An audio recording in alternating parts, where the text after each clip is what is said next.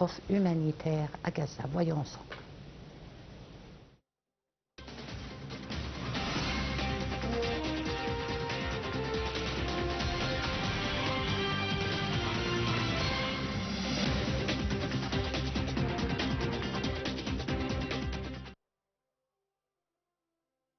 Conférence internationale Réponse humanitaire d'urgence à Gaza, organisée conjointement par la Jordanie, l'Égypte et les Nations Unies à la mer Morte, vise à mobiliser le soutien de la communauté internationale aux efforts de secours humanitaire dans la bande de Gaza, avec la participation d'un certain nombre de chefs d'État et de gouvernement et d'organisations humanitaires et d'aide internationale. La conférence se tient à la lumière de la détérioration sans précédent de la situation dans la bande de Gaza, à bord de l'aspect humanitaire concernant la question de l'accès de l'aide dans la bande de Gaza, ainsi que les moyens de faire face à la catastrophe humanitaire dont souffrent les civils de Gaza, en plus de soutenir les efforts de secours humanitaire des agences des Nations Unies, en particulier de l'Office de secours et des travaux des Nations Unies pour les réfugiés palestiniens l'UNRWA et d'autres organisations travaillant dans le domaine humanitaire concerné par la réception et la distribution de l'aide dans la bande de Gaza. Les dirigeants d'États, de gouvernements et d'organisations humanitaires internationales se réunissent dans la région de la mer Morte à l'invitation du roi Abdallah II de Jordanie, du président Abdel Fattah el-Sisi et du secrétaire général des Nations Unies Antonio Guterres. Il s'agit de trouver des mesures pratiques qui garantissent l'acheminement immédiat, approprié et durable de l'aide humanitaire et médicale d'urgence, à accélérer et à organiser le processus de fourniture de l'aide, à identifier les moyens de renforcer la réponse de la communauté internationale à la catastrophe humanitaire à Gaza, à répondre aux questions opérationnelles et aux besoins logistiques, et divers types de soutien nécessaires et confirmer l'engagement en faveur d'une réponse collective coordonnée pour faire face à la situation humanitaire à Gaza et à la protection des civils. Le président palestinien Mahmoud Abbas a reçu une invitation du président Sisi, du roi du royaume hachémite de Jordanie Abdallah II, Ben Hassan et du secrétaire général des Nations Unies Antonio Guterres pour assister aux activités de la conférence.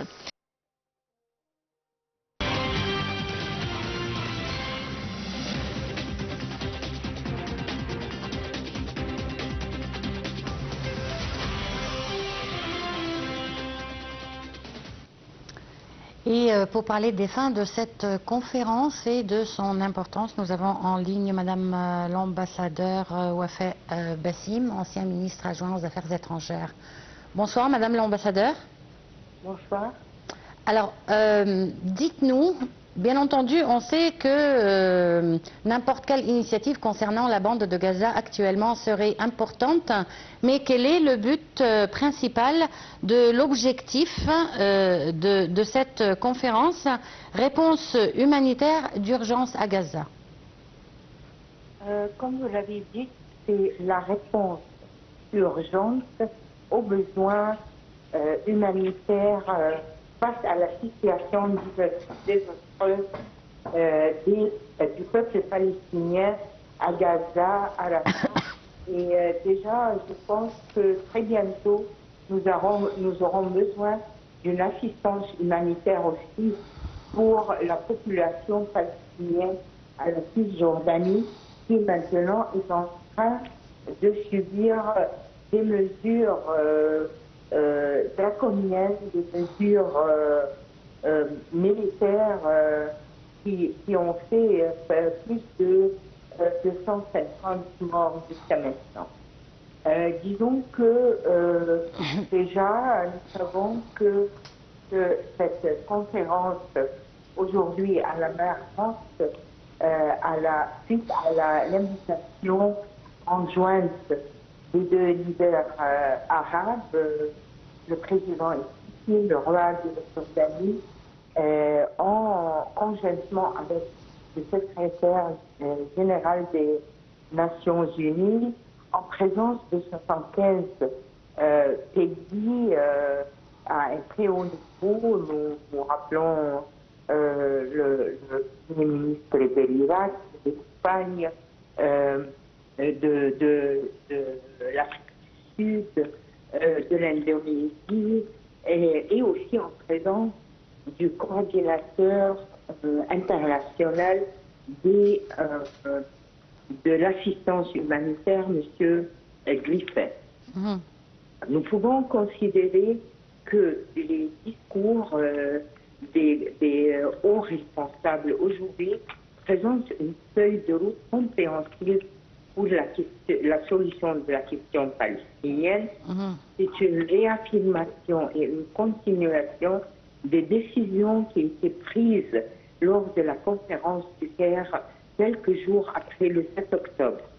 Euh, le discours du président égyptien a bien jeté la lumière sur tous euh, les crimes commis par l'occupation israélienne contre le peuple palestinien à Gaza et a réaffirmé l'obligation égyptienne ferme et continue envers le peuple palestinien et l'appui égyptien à ce peuple frère dans les moments critiques. Euh, disons que les résultats les plus, les plus importants et qui sont basés sur la résolution du Conseil de sécurité prise hier soir avec euh, le consensus ou avec le vote euh, positif de 14 pays et l'abstention de la Russie euh, et qui a été accepté par les Palestiniens inclus Hamas et les forces de résistance à Gaza et qui permettra avec la pression de la communauté internationale sur le, le gouvernement israélien qui permettrait euh, d'achever un cessez-le-feu immédiat, euh, viable, crédible et qui aidera à une grand, un grand acheminement massif des, euh, de l'assistance humanitaire médicale, comme vous l'avez bien précisé, et aussi de sauver ce qui reste très peu de l'infrastructure mais de, euh, à Gaza, mais essayer aussi de euh, récupérer euh, les personnes blessées qui ont besoin de traitement médical et qui ne peuvent pas sortir, et aussi de tout de suite renforcer l'abstention de de, bombarder ou de, euh, de, tuer, les, d'avoir comme but, comme cible euh, les civils, la population civile, les fonctionnaires internationaux et mettre mhm. fin euh, aux crimes contre l'humanité et les violations du, du, droit international euh, des droits de l'homme. Mhm. Oui, mais euh, Madame l'ambassadeur, est-ce que vous pensez que Israël va prendre en considération les résolutions de cette conférence? Euh, avec, avec la, la, résolution du Conseil de sécurité d'hier soir, je crois que ça devient de plus en plus difficile pour Israël de ne pas, disons, de ne pas répondre euh, à la mise en œuvre de ces résolutions. Bien mm. que, pour vous dire la vérité, je ne suis pas très optimiste, à moins qu'une grande pression internationale, surtout des alliés d'Israël, euh, les États-Unis d'Amérique, euh, la Grande-Bretagne et autres, ne mettent la main ne, tiennent les mains pour forcer le gouvernement israélien à accepter ces résolutions. Mhm. D'autre part, euh, nous, trouvons aujourd'hui aussi qu'il y a, euh, M. Giffes a demandé euh, de réaliser un objectif de 2 milliards et demi de dollars américains jusqu'à décembre de cette année pour pouvoir répondre au minimum des besoins euh, humanitaires, médicaux du peuple palestinien. Oui, mais Madame euh, l'ambassadeur, euh, excusez-moi de vous interrompre, mais toutes ces aides médicales et humanitaires qui seront acheminées, la population de Gaza, elle n'est même pas sûre d'avoir le temps de les recevoir avant d'être tuée. Je veux dire que là, on parle de vie ou de mort. Madame, euh, vous m'avez demandé est-ce que c'est possible Je vous ai dit que c'était seulement possible s'il y a une grande pression internationale et particulièrement la responsabilité des États-Unis d'Amérique, des alliés mondiaux, de faire pression sur le gouvernement israélien pour qu'il accepte la mise en œuvre non seulement, seulement des, euh, euh, décisions et des résolutions de la conférence d'aujourd'hui, mais aussi de la euh, résolution du Conseil de sécurité et qui, cette fois-ci, est prise à une grande, presque unanimité et l'abstention de la Mhm. Mais à chaque fois qu'une résolution, Madame l'ambassadeur, euh, voudrait être votée au Conseil de sécurité, les États-Unis, ils lèvent leur veto. Mais cette fois-ci, ils n'ont pas élevé le veto, Madame. C'est mhm. un produit de résolution qui a été présenté par les États-Unis d'Amérique euh, elles-mêmes et ils, vont, ils ont voté pour les euh, cinq pays permanents quatre ont voté pour la résolution et seule la Russie s'est abstenue en expliquant son vote. Les dix autres membres non permanents ont voté pour la résolution. Donc c'est une résolution presque consensuelle et qui euh, a toutes les chances d'être mise en œuvre, d'être euh, euh, faite, d'être oui, mise en, mise en œuvre euh, seulement s'il y a assez de pression des, euh, des parrains de cette résolution, donc euh, les États-Unis d'Amérique et les autres alliés, sur Israël pour qu'elle obéisse et qu'elle accepte de, de, mettre en œuvre cette résolution-là Mhm. Et euh, quelle est cette résolution? Le cessez-le-feu du feu immédiat, l'acheminement euh, de l'aide humanitaire, l'ouverture de tous les passages, euh, aussi le, retour à la table de négociation et l'abstention de cibler l'infrastructure, la population civile, les fonctionnaires des Nations Unies. Mhm. Et euh, qu'est-ce qui a fait, à votre avis, ce changement de position de la part des États-Unis? Euh, euh, Disons, ce changement-là vient avec le plan du président Biden il y a une ou deux, dix jours presque, qui a été présenté et que son envoyé spécial, son ministre des Affaires étrangères et M. Blinken, qui a participé à la conférence aujourd'hui, est en train de faire ce qu'on appelle, euh, une diplomatie d'aller euh, de va-et-vient pour essayer de euh, convaincre Israël d'accepter la résolution et le plan Biden et aussi de euh, parler avec euh, Hamas et avec les autres euh, groupes de résistance palestinienne pour qu'ils acceptent conjointement que cette résolution soit mise en œuvre. Mhm. Et cette résolution qui a été votée presque à l'unanimité, comme vous l'avez dit, quand est-ce qu'elle devrait être mise en œuvre?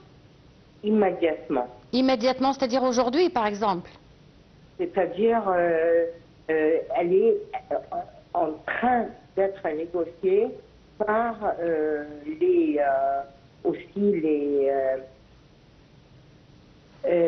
l'Égypte, le Qatar, les États-Unis d'Amérique et avec la présence du secrétaire Blinken dans la région qui essaie maintenant de mettre les euh, mesures immédiates pour la mise en œuvre de la résolution.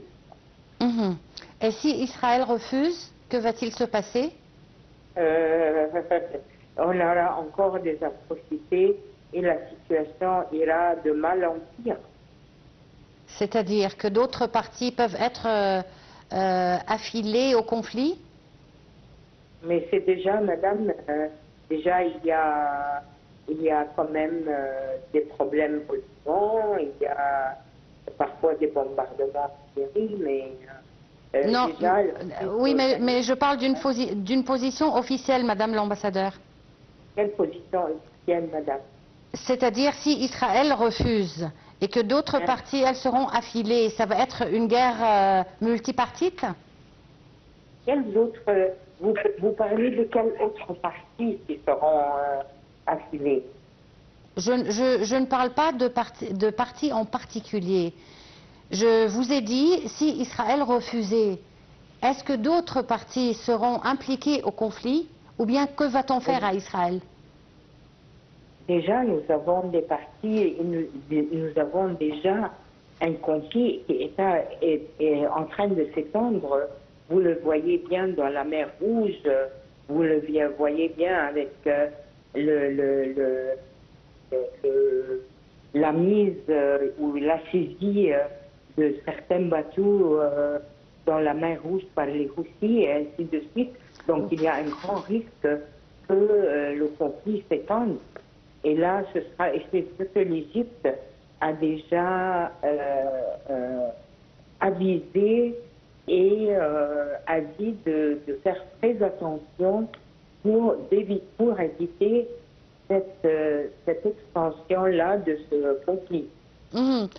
Bah, c'est-à-dire que la réponse à Israël, au cas où elle refuserait la mise en œuvre de cette résolution, serait la force. Non, on ne peut pas dire ça. Il y a toujours un chemin pour les négociations, mais ce qu'il faut, c'est euh, aussi euh, des pressions, non pas seulement politiques, économiques, le système de sanctions, l'abstention de donner des armes à Israël. Euh, il, y a, il y a beaucoup de mesures qu'on peut utiliser pour arrêter ou pour forcer le gouvernement israélien euh, à, euh, disons, à se, se résoudre mhm. euh, à la mise en œuvre de, cette résolution, de ces résolutions. Seulement y a aussi la volonté politique des alliés d'Israël. Mhm. On l'espère, Madame l'ambassadeur, parce que ce conflit, il traîne maintenant depuis huit mois, presque, et tous les jours, on perd des vies très précieuses, euh, qui, nous sont très précieuses. Euh, Certainement. Que ce soit des femmes, des enfants, des vieillards, des hommes, des citoyens arabes. Euh, donc on espère que cette résolution sera mise en application le plus vite possible. Des, citoyens internationaux et il n'y a pas une vie qui est plus chère et qui est plus importante qu'une autre vie. Exactement. Merci bien, Madame euh, l'ambassadeur. Je vous remercie beaucoup pour euh, cette intervention. On va passer au reportage suivant. Lors de sa participation à la conférence Réponse humanitaire d'urgence à Gaza, organisée en Jordanie, le président Abdel Fattah Hassisi a prononcé un discours à la séance d'ouverture dans lequel il a déclaré que l'Égypte avait mis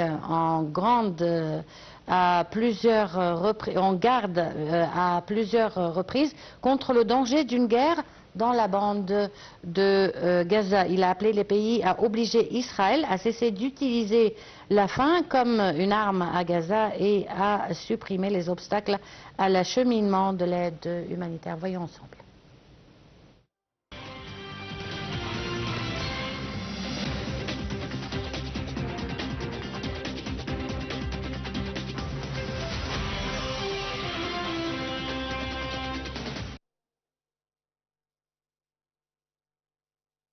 Réponse humanitaire d'urgence à Gaza. Organisée en Jordanie, le président Abdel Fattah el-Sisi a prononcé un discours à la séance d'ouverture dans lequel il a déclaré que l'Égypte avait mis en garde à plusieurs reprises contre le danger d'une guerre dans la bande de Gaza. Il a appelé les pays à obliger Israël à cesser d'utiliser la faim comme une arme à Gaza et à supprimer les obstacles à l'acheminement de l'aide humanitaire. Le président Assisi a remercié le royaume frère de Jordanie d'avoir accueilli cette importante conférence, exprimant sa gratitude au roi Abdallah II et au secrétaire général de l'ONU pour leurs efforts visant à mettre fin à la guerre à Gaza et pour avoir tenté de réduire le lourd fardeau humanitaire qui en résulte. Sisi a adressé également ses remerciements à tous les pays qui ont répondu à l'invitation à participer à cette conférence conjointe dont l'Égypte a l'honneur de coprésider. Le président Assisi a déclaré que les enfants innocents du peuple palestinien du Gaza sont entourés de meurtres et de famines. La responsabilité de la crise humanitaire sans précédent qu'au traverse la bande de Gaza incombe directement à la partie israélienne et elle est le produit délibéré d'une guerre de vengeance destructrice contre Gaza, son peuple, son infrastructure et son système médical, dans lequel l'arme de la famine est utilisée. L'Égypte a mis en garde à plusieurs reprises contre la gravité de cette guerre et ses conséquences et les graves répercussions des opérations militaires israéliennes dans la ville palestinienne de qui ont conduit à l'établissement d'une situation qui entrave l'acheminement des aides humanitaires entrant dans la bande de Gaza, principalement depuis le terminal de Rafah, alors que l'Égypte salue la résolution. Numéro 2735 du Conseil de sécurité, publiée lundi 10 juin 2024, ainsi que d'autres résolutions pertinentes et exige leur pleine mise en œuvre, elle souligne qu'un cessez-le-feu immédiat, global et durable dans la bande de Gaza et la libération immédiate de tous les otages et détenus et le plein respect de ce que le droit international et le droit international humanitaire ont imposé sur la nécessité de protéger les civils et de ne pas cibler les infrastructures ou les employés des Nations Unies ou les travailleurs des secteurs médicaux et des services dans la bande de Gaza.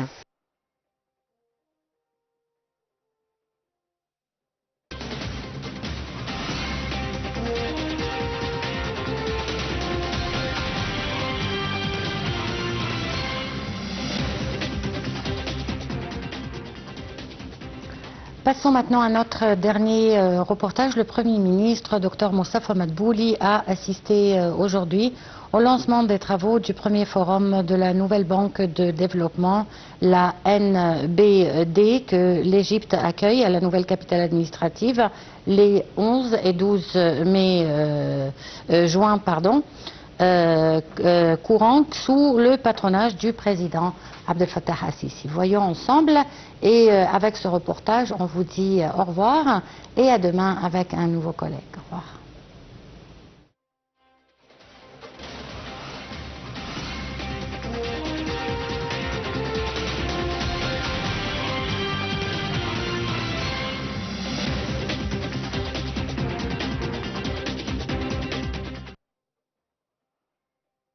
Le Premier ministre Mustafa Madbouli a assisté aujourd'hui au lancement des travaux du premier forum de la nouvelle banque de développement, MBD, que l'Égypte accueille à la nouvelle capitale administrative les 11 et 12 juin, courant sous le patronage du président Abdel Fattah el-Sisi.